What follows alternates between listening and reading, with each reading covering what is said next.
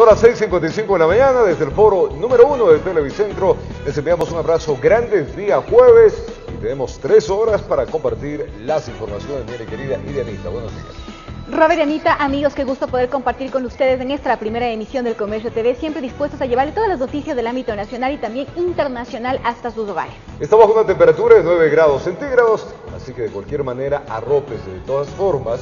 Eh, las autoridades han indicado que va a haber mucho sol, el índice UV debe estar eh, excedido, así que la protección también horas del mediodía sobre todo.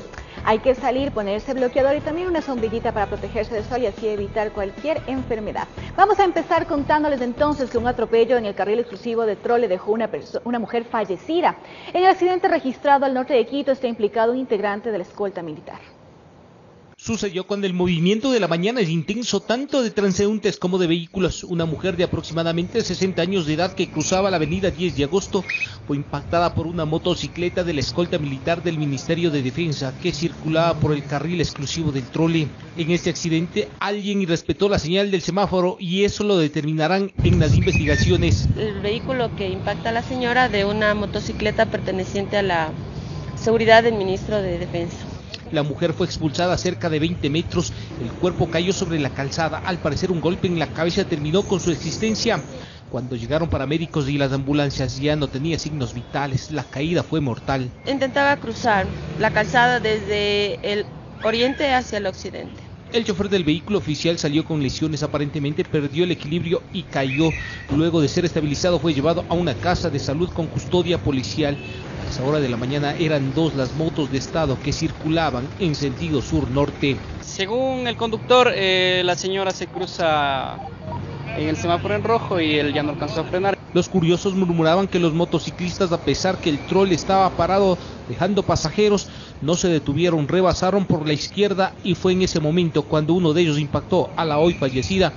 A pesar que llegaron al lugar del accidente oficiales de las Fuerzas Armadas, Ninguno confirmó si el implicado en el hecho cumplía alguna labor oficial. ¿Está permitido que este tipo de vehículos, siendo seguridad de personas como ministros, jefes de Estado, circulen por esta vía?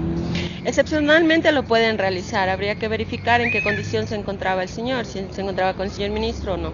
A la mujer no le encontraron en su bolso y ropa ningún documento para saber de quién se trataba. Seguramente se dirigía a su lugar de trabajo o quién sabe a cumplir alguna diligencia cita a la que no pudo llegar, la muerte se atravesó temprano a la altura de las avenidas 10 de agosto y Cuero Caicedo. Ellos pueden circular por el carril exclusivo del trole. Tienen el salvoconducto y pueden circular. Bien dice el refrán popular, uno sabe cuándo sale, pero no cuándo regresa. En Quito informó Iván Casamen. En la provincia de Esmeraldas, elementos de la Armada decomisaron en aguas nacionales más de 800 kilos de codidato de cocaína. Cuatro personas que viajaban en la lancha fueron detenidas, entre ellas un ciudadano mexicano. ¿Cuántos sacos hay?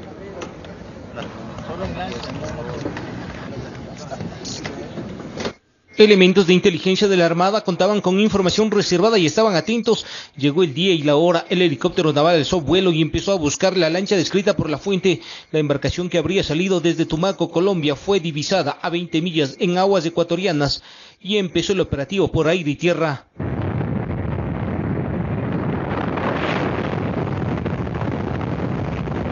La embarcación estaba también provista de víveres para más de ocho días, así como de suficiente combustible para llegar hasta Centroamérica.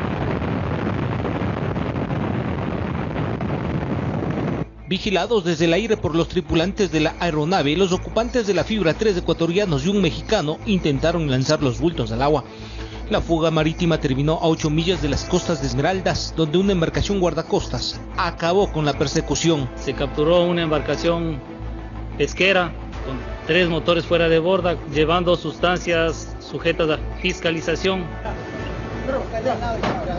Los bloques estaban guardados en sacos de yute forrados con plástico para precautelar el producto en caso de ser lanzados al agua. La ruta para las autoridades ya es conocida. Zarpan desde algún puerto colombiano y utilizando aguas ecuatorianas buscan llegar a Centroamérica para abastecer embarcaciones más grandes. Estamos frente a un delito de gran escala, lo que implicaría que estarían para enfrentar una pena de 10 a 13 años privativos de libertad. El millonario cargamento pasó en primera instancia a custodia de los marinos. Ya en el muelle del subcomando de guardacostas fue entregado a la policía.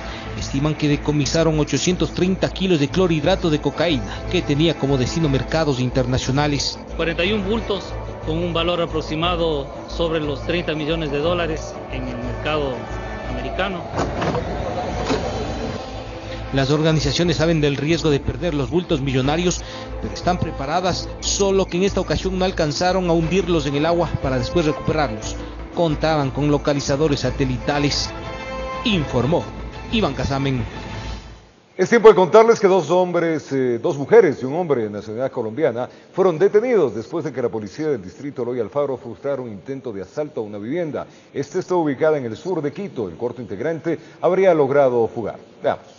A través de un patrullaje preventivo que realiza a diario la policía del distrito Eloy Alfaro, lograron frustrar el robo de un domicilio en el sector del calzado al sur de Quito. Al ver la presencia policial salen en precipitada carrera el momento que realizan la persecución la policía, eh, le reducen a, la, a, los infractores o posibles infractores de la ley y son trasladados a, a, la audiencia.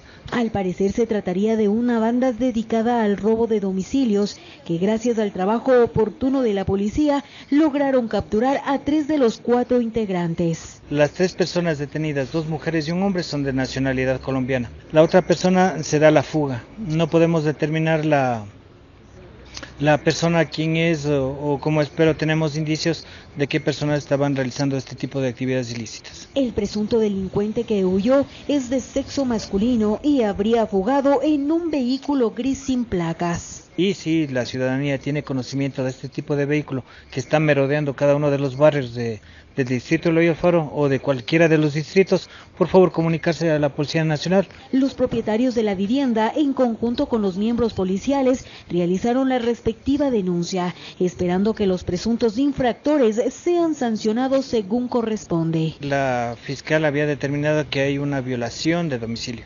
En este sentido, la, la fiscal ordenará las el proceso continuo de determinará a un agente de la Policía Judicial a fin de que comience a realizar las investigaciones previas. Ante estos hechos, el coronel Fausto Puga, comandante del distrito Eloy Alfaro, solicita a la ciudadanía denunciar cualquier irregularidad que ocurra en sus domicilios para prevenir delitos mayores. Informó Patricia Aldaz. En el sur de Quito fue detenido el presunto integrante de una banda dedicada al robo de maquinaria de construcción. El sospechoso portaba un arma de fuego mientras la policía recuperó algunas evidencias. Antes que amanezca ingresaron a un patio donde guardaban maquinaria y equipos de construcción. Cuatro sujetos sometieron al guardia de seguridad y procedieron a llevarse una máquina retroexcavadora.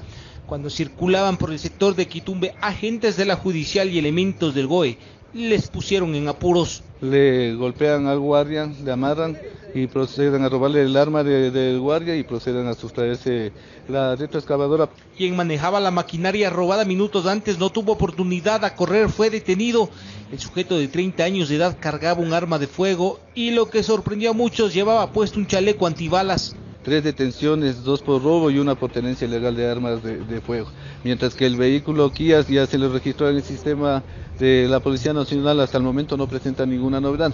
Otros tres ocupantes del vehículo retenido lograron fugar y se adentraron por una quebrada en la zona de Quitumbe. Pese a que elementos del GOE rastrearon el sector, no fue posible localizarlos. Para perpetrar los asaltos aparentemente utilizaban uniformes de empresas de seguridad. No se logró la ubicación de estos, de estos antisociales. Se trataría de una banda que operaba bajo pedido, es decir, buscaba lo que el cliente necesitaba. Supuestamente los integrantes tenían contactos a nivel de provincias y así buscaban borrar las evidencias del delito. La maquinaria es de la empresa metropolitana de obras públicas del EMOP, la empresa municipal del Consejo. Estamos nosotros justamente en esas investigaciones para ver cuáles son las personas que están tratando de adquirir este tipo de maquinaria. Entre lo incautado, un arma de fuego, overoles de diferentes empresas de seguridad, dos chalecos antibalas celulares y una retroexcavadora del municipio recuperada. En Quito informó Iván Casamen. En la provincia de Los Ríos, un adulto mayor fue encontrado en un motel junto a dos menores de 15 y 16 años. La policía investiga una presunta red de trata de personas con fines de explotación sexual, donde habría al menos una decena de víctimas. La investigación llevaba varias semanas. La policía finalmente encontró al hombre de 66 años en el cuarto número 11 de un motel del Cantón Buena Fe con la menor de 15 años, mientras otra adolescente de 16 años esperaba en el vehículo. El delito de trata de menores con fines de explotación sexual fue el cargo imputado que tras la audiencia dio como resultado el arresto domiciliario para el señor de la tercera edad, la menor de 16 años, quien presuntamente fungía como líder de la organización ilegal, recibió internamiento en Guayaquil, mientras que la adolescente que prestaba sus servicios sexuales fue trasladada hasta un albergue por su situación de vulnerabilidad. Resulta que la otra menor de edad, que tiene 16 años, era la tratante. Es decir, que la menor de 16 años de edad era quien ganaba una comisión por, de acuerdo a lo que ella manifiesta, por enganchar. Los padres de una de las chicas vinculadas a la presunta red, que en total serían 12, aseguran desconocer el ilegal negocio que mantenían las menores. Eso sí, yo no me, yo no me había enterado nada a mi hija y ahorita que mi hija están, estaban detenidas fue que dieron las declaraciones aquí que ese señor las tenía todas amenazadas a ellas. Una adolescente desaparecida hace dos meses fue recuperada en el domicilio de una amiga que también era parte del grupo, que incluso tenía su propio catálogo para buscar clientes. Hay otras chicas a quienes también estamos tratando de recuperarlas de este momento. Entonces, la forma en la que se contactaban sí era a través de teléfono. El precio estándar que cobraban las menores era de 90 dólares por cada cliente. La policía continúa la investigación, pues buscan a quienes indujeron a las chicas a convertirse en mercadería a tan corta edad. Desde Los Ríos informó Odette Camacho. Un vigilante seguro contribuyó a la detención de cinco presuntos antisociales que merodeaban la ciudadela bolivariana en el norte de Guayaquil. Los implicados se movilizaban en un auto amarillo que aparentaba ser un taxi. Eran cinco hombres al interior de este taxi. Los vieron mientras daban varias vueltas a través de las calles de la ciudadela bolivariana. Eso despertó sospechas por parte de un vigilante seguro, quien decidió comunicar a la policía. Ellos acudieron de inmediato logrando detectar que el vehículo amarillo continuaba por la zona. Eh, puede observar de que dos de los ocupantes salen en precipitada carrera, prosigue él con, con la tratando de, de, aprenderles y eh, a la altura de la avenida Los Ríos y Manuel Galecio procede a retenerles a estos ciudadanos, a dos de ellos. Otra patrulla se encargó de perseguir a quienes quedaron dentro del auto, logrando constatar que algo ilícito estaban ocultando. Se realiza en este caso la, el registro a estos ciudadanos y al vehículo, pues y en poder de uno de ellos se encuentra eh, un arma de fuego, un revólver de fabricación artesanal de color plateado. Pero eso no era todo. Se logró comprobar que el taxi y todos sus distintivos solo eran parte de una fachada y que realmente no formaba parte de ninguna cooperativa. Eran falsos, no era una unidad regular, incluso al interior tenía aparentemente instalado las cámaras de seguridad, pero nunca funcionan ni funcionaban. Personas dedicadas a brindar este servicio de vigilantes seguros expresaron su admiración al compañero valiente al mismo tiempo, recordaron que siempre trabajan con la policía en la lucha contra la delincuencia. Estamos pila aquí en, el sector, o sea, que no se vayan a llevar alguna cosa, una llanta, alguna cosa, eh, en todos momentos, porque nosotros vivimos de, vivimos de esto, o sea, de, de lo que el parqueo. Informó José Morales. Vamos a cambiar el tema, ahora vamos con política. Asambleístas de Creo anuncian el inicio del proceso de enjuiciamiento político en contra del superintendente de comunicación Carlos Ochoa. A este pedido se suman ya otros legisladores de diferentes bancadas. El anuncio lo realiza la bancada de Creo. Impulsarán el inicio de un proceso de enjuiciamiento político en contra del superintendente de comunicación Carlos Ochoa y dan sus motivos. Es el momento ya de acabar con la discrecionalidad, el abuso de poder que ha tenido el superintendente de comunicaciones. Hay razones de sobra para que sea llamado a juicio político. Para ello abren un espacio de denuncia ciudadana. Piden a aquellos que han sido sancionados por la Supercom que acudan a la Asamblea a entregar información sobre sus casos y podremos demostrar durante el transcurso de las próximas semanas que incumplió la Constitución, la Ley Orgánica de Comunicación, la Ley de la Contraloría y la Ley Orgánica del Servicio Público que la recolección de firmas ha comenzado. Al momento tendrían ya más de 45 rúbricas y en este pedido se podrían sumar legisladores de todas las bancadas, inclusive los morenistas. Todo lo que sea aclarar, clarificar, eh, eh, decirle la verdad al país, estoy totalmente de acuerdo. Y precisamente ellos analizan qué decisión tomar. Este grupo de legisladores presentó un pedido de comparecencia de Ochoa ante la Comisión de Fiscalización, que aunque fue aprobada por el CAL, no ha sido tramitada por la presidenta de la comisión y hay reclamos. Yo lamento que la comisión no dé prisa y no dé una prioridad a un tema que es tan importante. Dicen que esperan que la comparecencia se concrete. No descartan que luego de ello se sumen al enjuiciamiento político, pero esperan que esta vez la Asamblea sí fiscalice.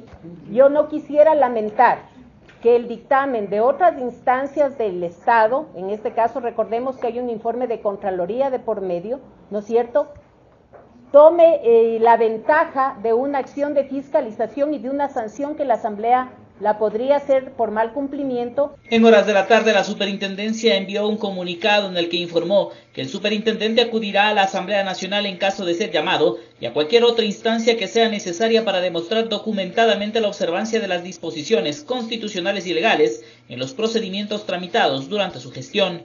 Así las cosas, el futuro político del superintendente Carlos Ochoa se podría definir en las próximas semanas dentro de la Asamblea, informó Javier Gallo.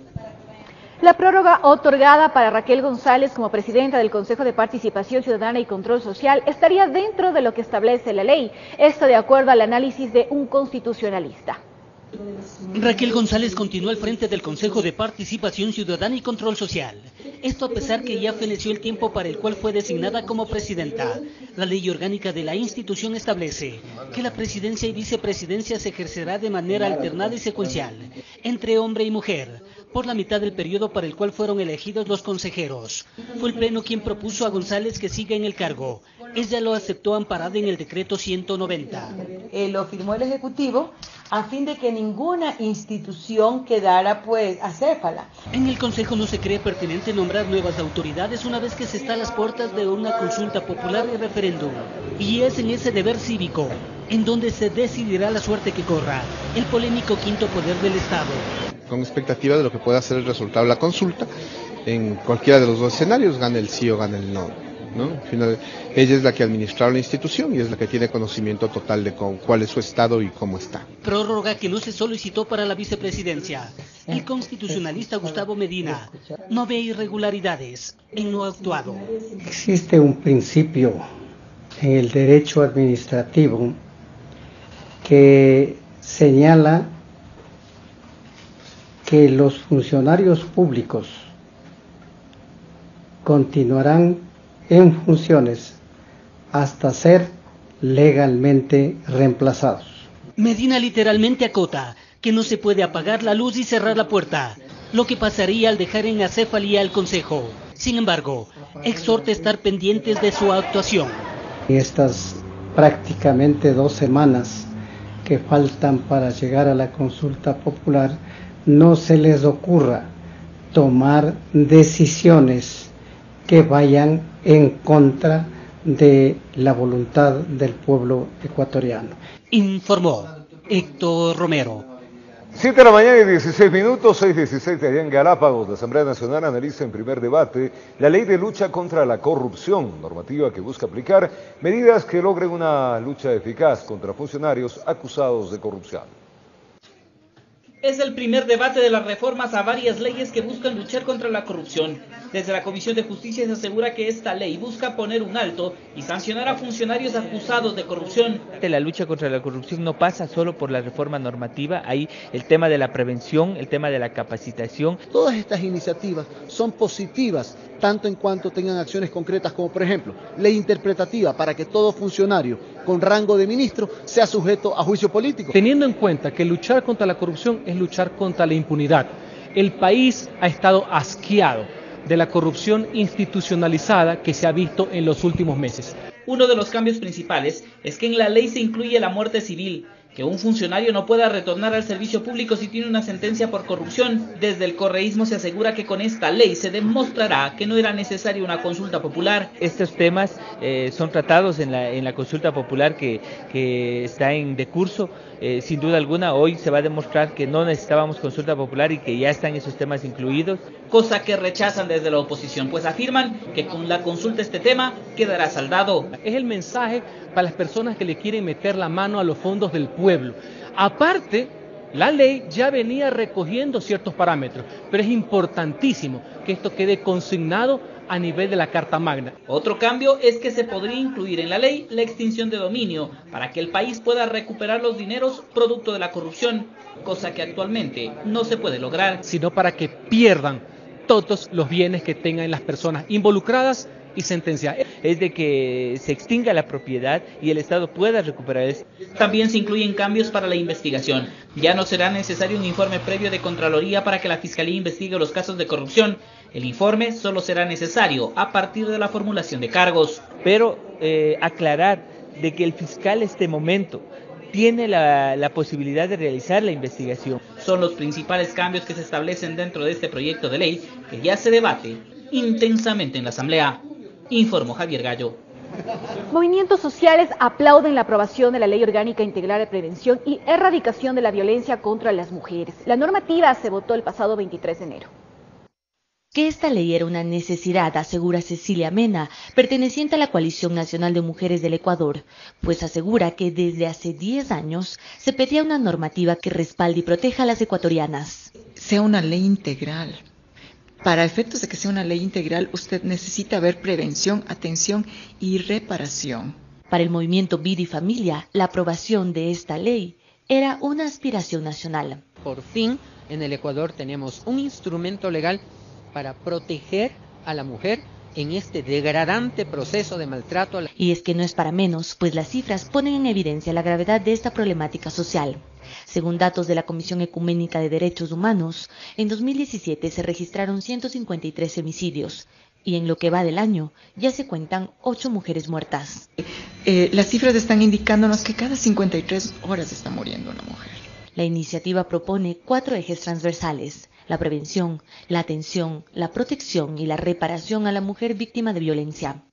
La normativa contempla que el Estado determine un presupuesto específico para esta legislatura y además establece que sea el Ministerio de Justicia el encargado del registro único de violencia contra la mujer, para que con esto exista una mayor agilidad en los procesos. Necesitamos poder tener, como tuvimos antes, un espacio donde nos entreguen inmediatamente medidas de amparo. Sin embargo, Larco resalta que para reducir la impunidad no basta solo con una nueva ley, sino con un trabajo eficaz de los jueces que la aplican. Por eso, también el Consejo de la Judicatura, el Consejo Nacional de la Judicatura que está integrado al sistema, tiene la obligación de capacitar y luego ser absolutamente exigente en el cumplimiento de los términos, plazos y condiciones que la ley establece.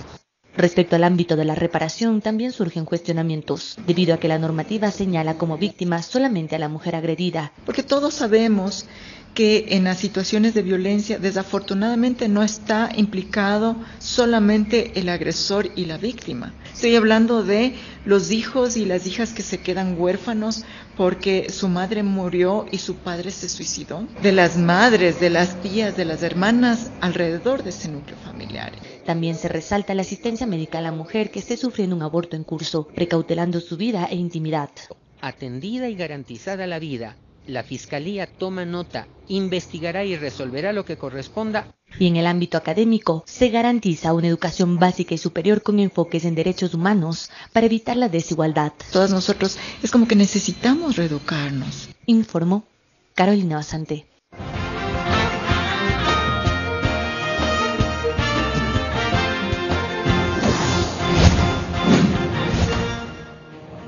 La vicepresidenta María Alejandra Vicuña encabezó una caravana en el Cantón Durán, allá en el Guayas, con el fin de impulsar el sí en la consulta popular. La segunda mandataria se mostró optimista.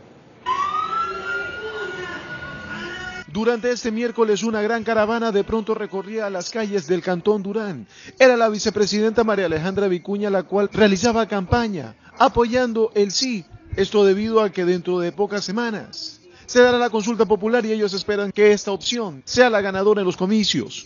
Atendiendo a la invitación de los dirigentes de las organizaciones sociales que respalden el sí para venir a esta tierra linda, este querido cantón, uno de los más importantes de la provincia del Guayas, en donde mayoritariamente hay un respaldo contundente a las siete preguntas de la consulta popular. Estamos seguros que el 4 de febrero Durán también se sumarán a todos los cantones del Ecuador que le dicen sí a más democracia, a mejor institucionalidad. Asegurando también que siente el respaldo del pueblo ecuatoriano. No piensan de manera triunfalista, sin embargo, aseguran ganará la mejor opción. Sí, bueno, creo que más allá de las encuestas, eh, la respuesta de la gente, no solo en manifiestos públicos de los colectivos, sino de la ciudadanía, que sale, se acerca a decir gracias por escuchar las demandas de la gente. Agradezcale al presidente Lenin Moreno que ha acogido nuestros planteamientos desde los balcones, desde los parques, ver cómo jóvenes, mujeres, adultos mayores respaldan la consulta popular. Informó Julio César Saona. El alcalde de Guayaquil, Jaime Nebot, visitó a moradores del Guasmo Norte para socializar las preguntas de la consulta popular y promover el sí.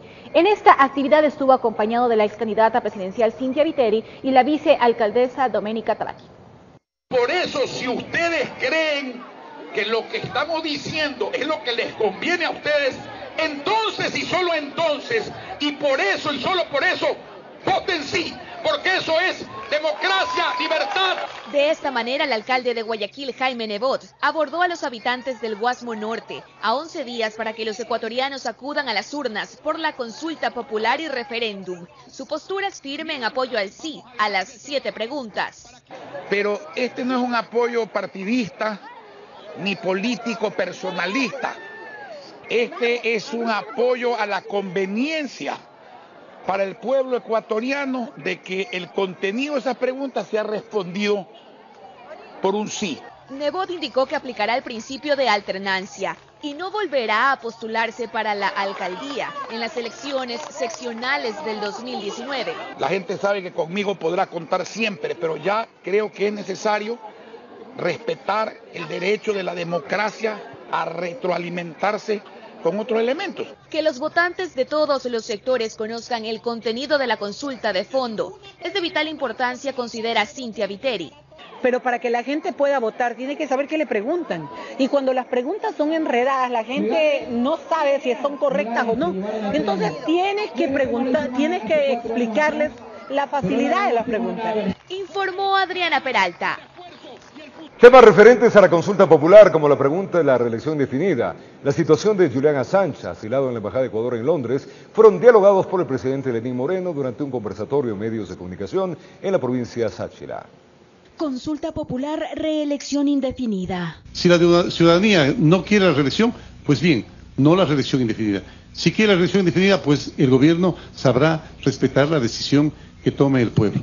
En forma particular, yo no creo en las reelecciones indefinidas. Me parece aberrante, me parece una distorsión de la democracia. Consulta popular, la no prescripción de delitos sexuales en contra de niños, niñas y adolescentes.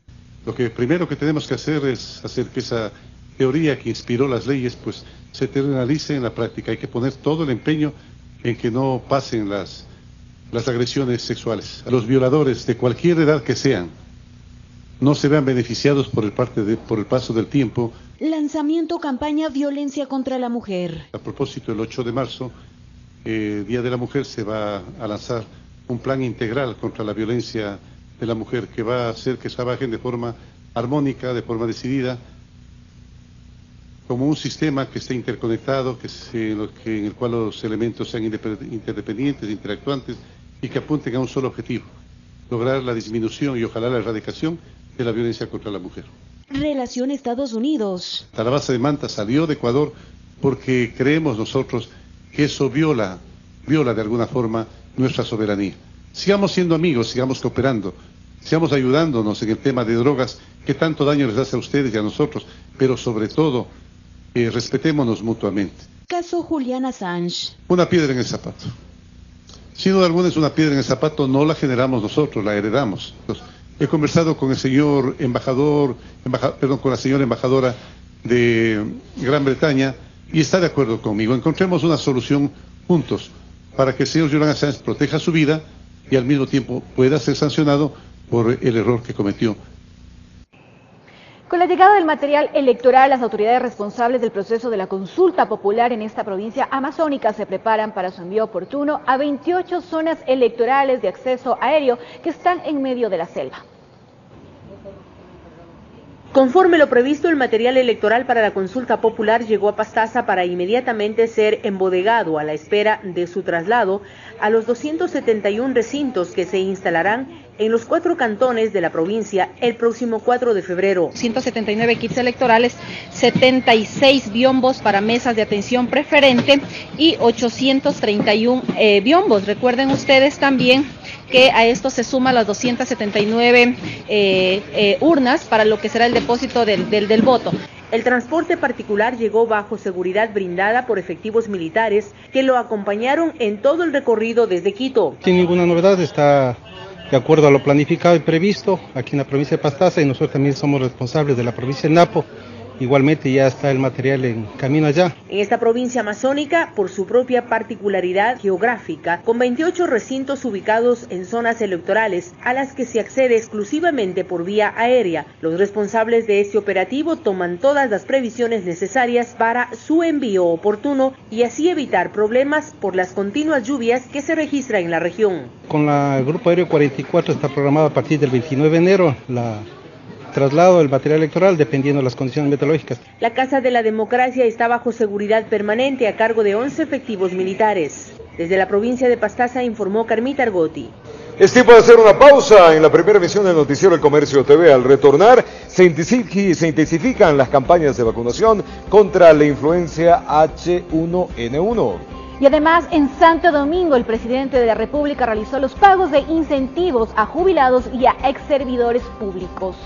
Esta información y mucho más al volver en el Comercio TV.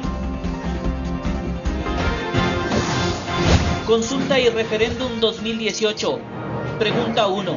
¿Está usted de acuerdo con que se enmiende la Constitución de la República del Ecuador para que se sancione a toda persona condenada por actos de corrupción con su inhabilitación para participar en la vida política del país con la pérdida de sus bienes, según lo dispuesto en el anexo 1?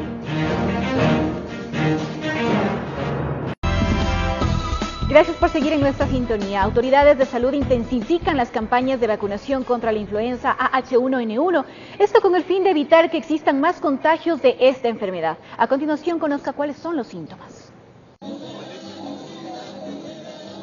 Se trata de un virus que presenta síntomas como gripe normal, pero características un tanto distintas. Es la AH1N1, la cual se manifiesta con fiebre alta, tos fuerte, dolor de garganta, dolor de cuerpo y más. Y todo esto en la estación invernal. Durante el periodo invernal o durante todos los periodos invernales es frecuente que se incremente el número de enfermedades respiratorias, enfermedades diarreicas, enfermedades de la piel, enfermedades transmitidas por vectores.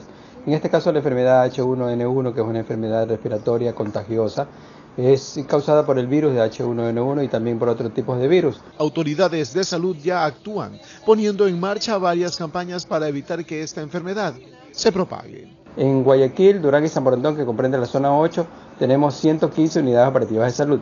En todas, incluso se está vacunando porque estamos realizando una campaña de vacuna contra la influenza eh, para grupos prioritarios.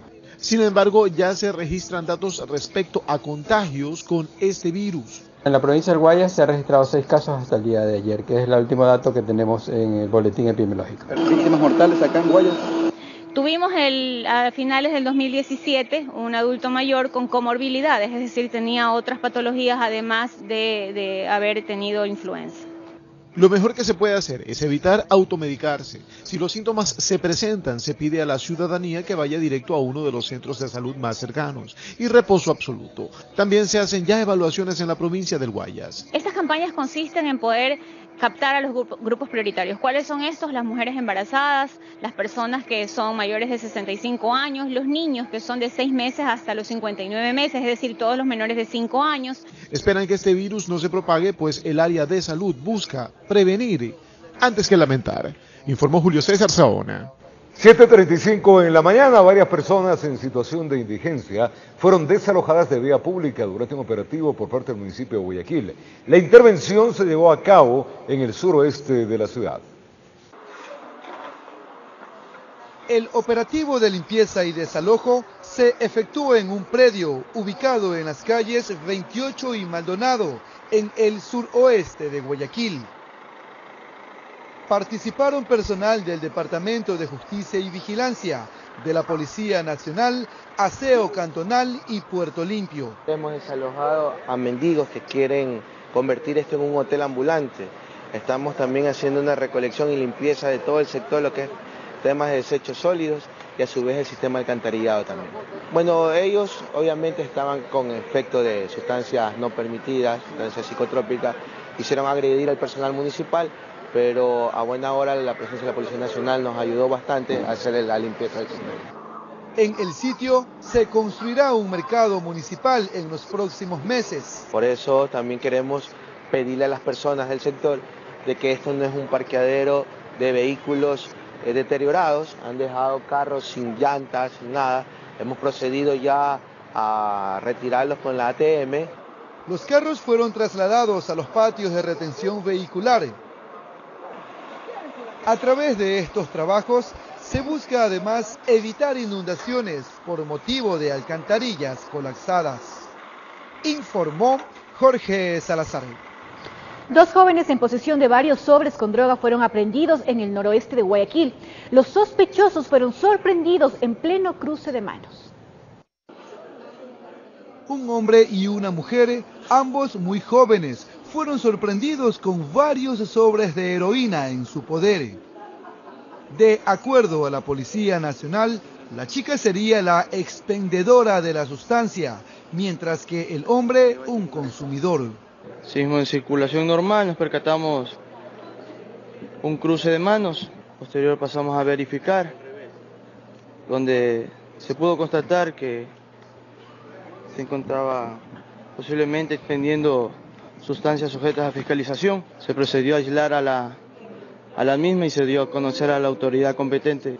Las aprehensiones se efectuaron en el bloque 20 del Flor de Bastión, en el noroeste de Guayaquil a más de la droga, tenían en su poder dinero en efectivo, aparentemente producto de la venta de la droga. Se encuentran 22 sobres, se encuentran en el poder de la señorita. Los operativos se realizan realizando el perfil, el registro respectivo con los perfiles a estas personas. Informó Jorge Salazar.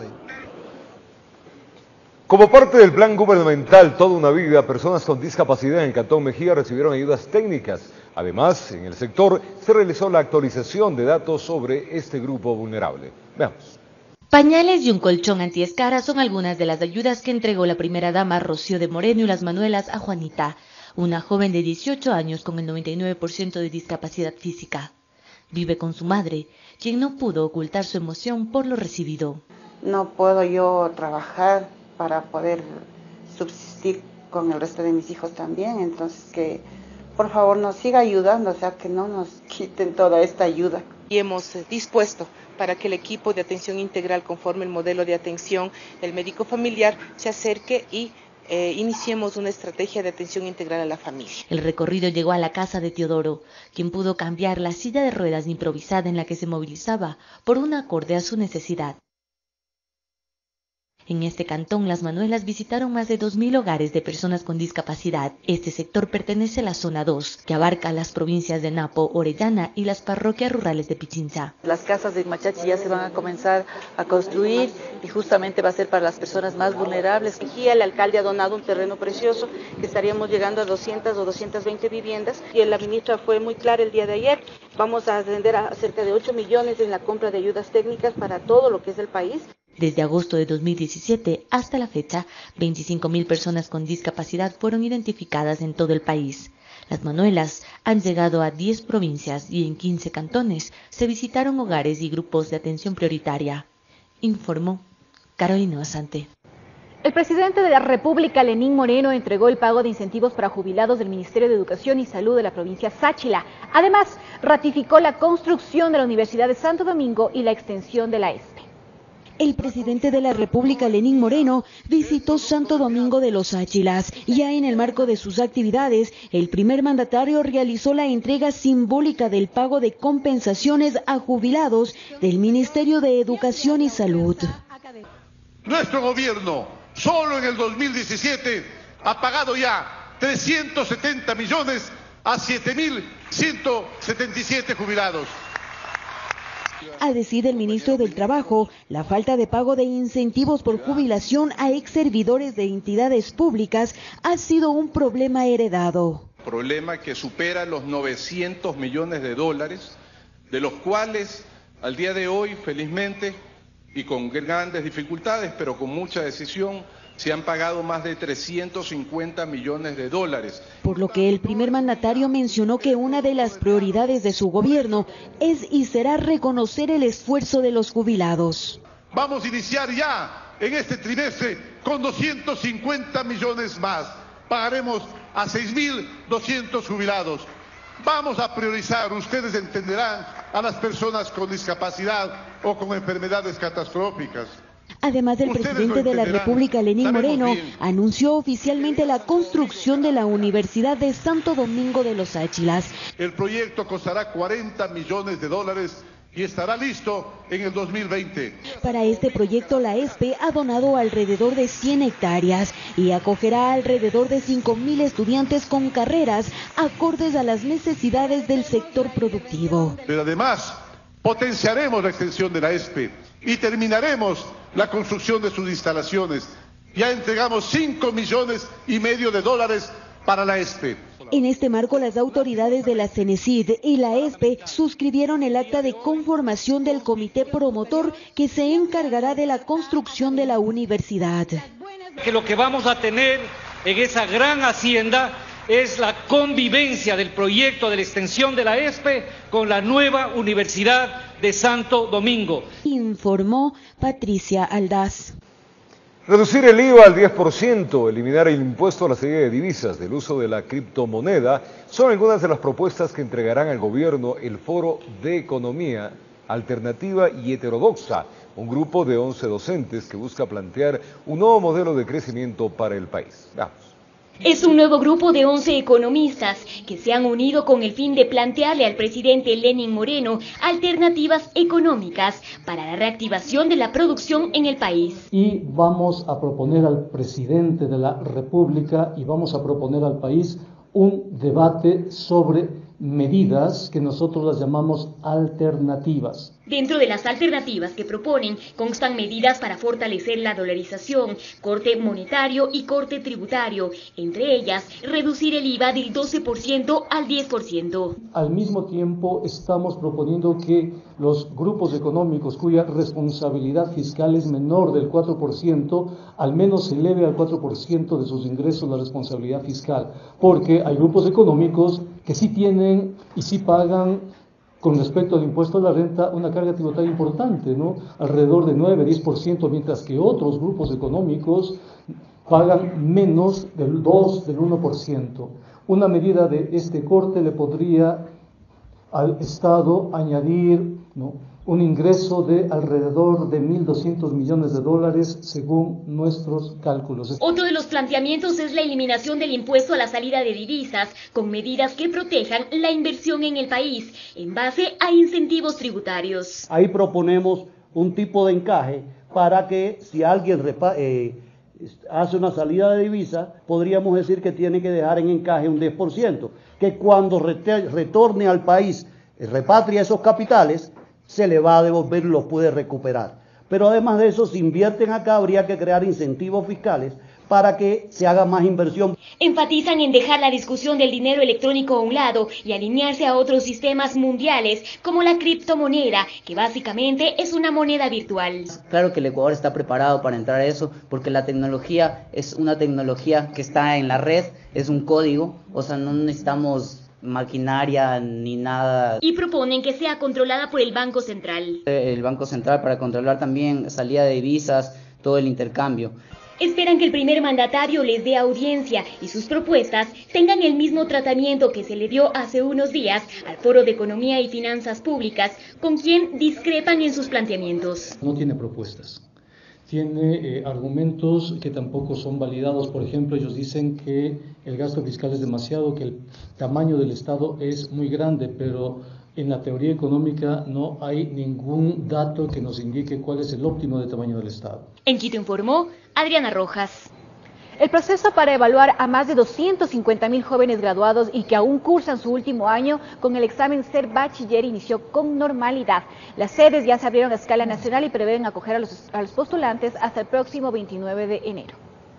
Un total de 291.616 inscritos iniciaron desde este 24 de enero a dar la prueba Ser Bachiller que permite a los estudiantes de tercer año de bachillerato graduarse, mientras que a los bachilleres graduados en años anteriores les brinda la posibilidad de postular por un cupo para acceder a una universidad, escuela politécnica o instituto técnico y tecnológico de su elección. la prueba empezó con normalidad, empezó a las 8 en punto, como se está realizando a lo largo y ancho de todo el país particularmente en el régimen costa. Aptitud abstracta, dominio matemático, dominio lingüístico, dominio social y dominio científico son los cinco campos de aptitudes y destrezas que se evalúan en este proceso. En nuestro caso nos interesa la prueba por los dos propósitos. Por un lado, por la promediación de la nota final que tienen los estudiantes y de otro lado, porque evidentemente es un tránsito y una vinculación con el sistema de educación superior que siempre va a ser un motivo de preocupación para nosotros. Para rendir el examen es necesario asistir a la sede 30 minutos antes. Es importante presentar el comprobante de asignación en el que consta el lugar, fecha y hora de evaluación, además de la clave y usuario, el mismo que lo podrán imprimir en www.serbachiller.es hasta el mismo día de la evaluación. Y las sedes en las cuales los estudiantes rendirán sus exámenes serán sus propias instituciones educativas. En caso de que la institución no tenga un laboratorio, los estudiantes han sido transferidos a otros establecimientos con la finalidad de lograr eh, que la, toda la operación y la parte logística de la prueba sea exitosa. La evaluación se llevará a cabo hasta el 29 de enero. En Quito informó Andrea Orbe. Y es momento de una pausa, pero al retornar tendremos noticias internacionales. Les contamos que en medio de una crisis política, social y económica, el presidente de Venezuela, Nicolás Maduro, busca la reelección. Y también un juez de Michigan sentenció a 175 años de prisión al ex doctor del equipo de gimnasia de Estados Unidos por abusar sexualmente al menos 156 menores y mujeres jóvenes. Esto y más al retornar en la primera entrega de nuestro noticiero El Comercio TV en la señal del canal Televicentro. Una pausa. Consulte Referéndum 2018. Pregunta 2. ¿Está usted de acuerdo con enmendar la Constitución de la República del Ecuador para reestructurar al Consejo de Participación Ciudadana y Control Social, así como dar por terminado el periodo constitucional de sus actuales miembros, y que el Consejo, que asuma transitoriamente sus funciones, tenga la potestad de evaluar el desempeño de las autoridades cuya designación le corresponde, pudiendo, de ser el caso, anticipar la terminación de sus periodos de acuerdo al anexo 3?